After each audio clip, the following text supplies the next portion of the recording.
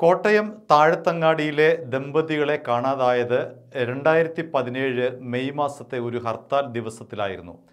ആ കേസ് ഇതുവരെയും എങ്ങും എത്തിയിട്ടില്ല. ഇന്ന് ക്രൈംബ്രാഞ്ച് സംഘം മറിയപ്പള്ളിയിലെ ഒരു പാറക്കുളത്തിന് സമീപം തിരച്ചിൽ നടത്തി. ആ പാറക്കുളത്തിൽ നടത്തി അതിന് സമീപ പ്രദേശങ്ങളിലും ഇവർക്ക് വേണ്ടിയുള്ള തിരച്ചിൽ നടത്തി. മൃതദേഹ അവശിഷ്ടങ്ങൾ എന്തെങ്കിലും കിട്ടുമോ എന്നുള്ള തിരച്ചിലായിരുന്നു ഇന്ന് ക്രൈംബ്രാഞ്ച് സംഘം.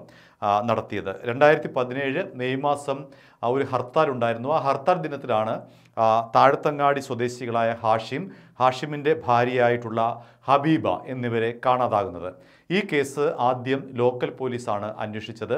ലോക്കൽ പോലീസ് അന്വേഷണത്തിൽ ഒരു തുമ്പും ലഭിച്ചില്ല.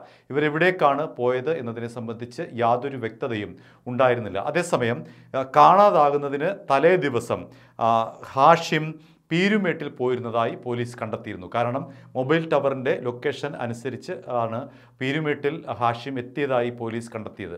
അതിന് തലേ ദിവസം അത് ആ ദിവസം കഴിഞ്ഞിട്ടാണ് ഹർത്താൽ ദിവസം വരുന്നത്. പിന്നീട് രണ്ടുപേരെയും കാണാതായി ആകുകയായിരുന്നു. വീട്ടിൽ പറഞ്ഞത് ഭക്ഷണം വാങ്ങാൻ വേണ്ടി ഞങ്ങൾ പുറത്തു പോകുന്നു ഉടൻ വരാം എന്ന് പറഞ്ഞുകൊണ്ടാണ് ഈ രണ്ടുപേരും ഇറങ്ങിയത്. പിന്നീട് ഇവരെക്കുറിച്ച് യാതൊരു വിവരവുമില്ല. ഇവരുടെ മൊബൈൽ ഫോൺ വീട്ടിൽ വെച്ചിട്ടുണ്ട്.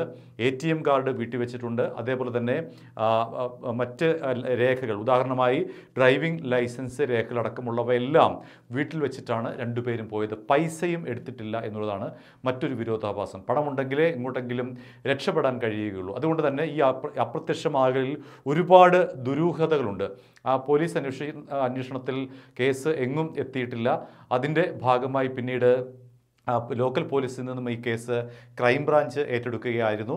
ക്രൈംബ്രാഞ്ചും ഇത്തരത്തിൽ നിരവധി സ്ഥലങ്ങളിൽ പീരുമേട് അടക്കം വാഗമൺ അടക്കമുള്ള സ്ഥലങ്ങളിലെല്ലാം തിരച്ചിൽ നടത്തി. അവിടെയൊന്നും തന്നെ ഹാഷിമിനെയോ അദ്ദേഹത്തിന്റെ ഭാര്യ ഹബീബയെയോ കണ്ടെത്താൻ കഴിഞ്ഞിട്ടില്ല.